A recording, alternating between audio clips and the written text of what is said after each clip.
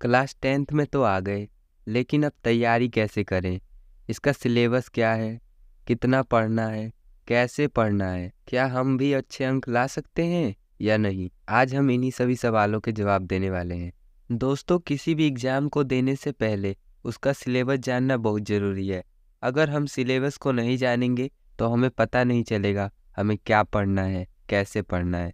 तो दोस्तों, हम पहले क्लास टेंथ के सिलेबस को जान लेते हैं। दोस्तों, इसमें कुल छः किताबें हैं।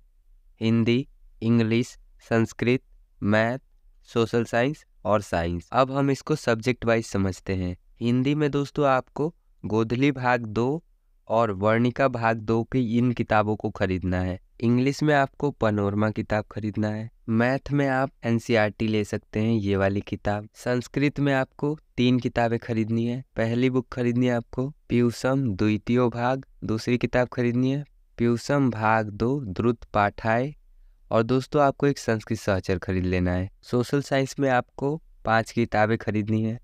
पहला है हिस्ट्री, जिसे हिंदी में इतिहास कहते हैं। इसमें आपको खरीदना है इतिहास की दुनिया। दूसरी किताब खरीदनी है, पॉलिटिकल साइंस।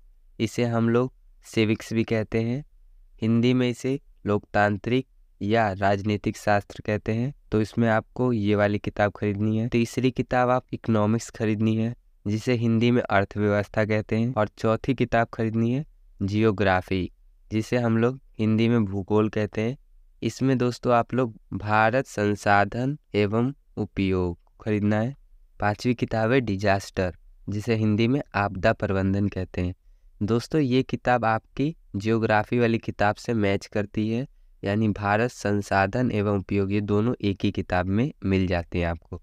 अगर आप लोग दूसरे प्रकाशन की किताब खरीदेंगे तो आपको पाँच किताबें खरीदनी पड़ेंगी और अगर आप लोग ये वाली किताबें खरीदेंगे तो सिर्फ़ आपको चार किताबों में सब मिल जाएगा। साइंस में तीन भाग होते हैं, बायोलॉजी यानी जीव विज्ञान, केमिस्ट्री यानी रसायन विज्ञान, फिजिक्स यानी भौतिक विज्ञान।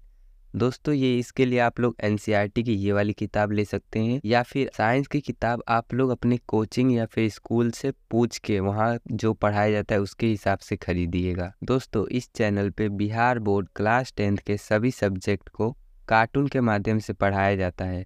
अगर दोस्तों आप लोग हमारे चैनल पर नए हैं तो चैनल को सब्सक्राइब कर लें, वीडियो को लाइक कर दें।